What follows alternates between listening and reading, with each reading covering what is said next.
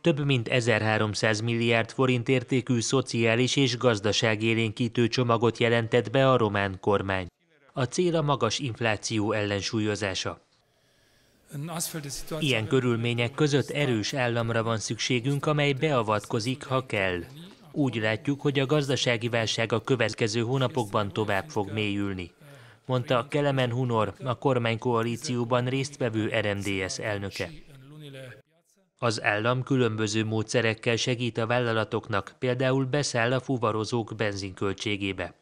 A mezőgazdaságban dolgozók minimálbérét 230 ezer forintnyi lejre emelik, a kevés pénzből élő emberek millióit pedig két havonta 50 eurós élelmiszerutalványjal fogják támogatni.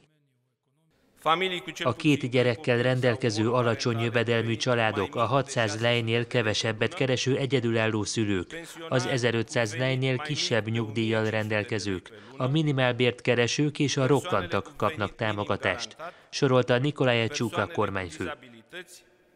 A csomag kicsivel több mint felét uniós forrásból finanszírozzák, és egyes elemei 2023-ban is érvényben maradnak.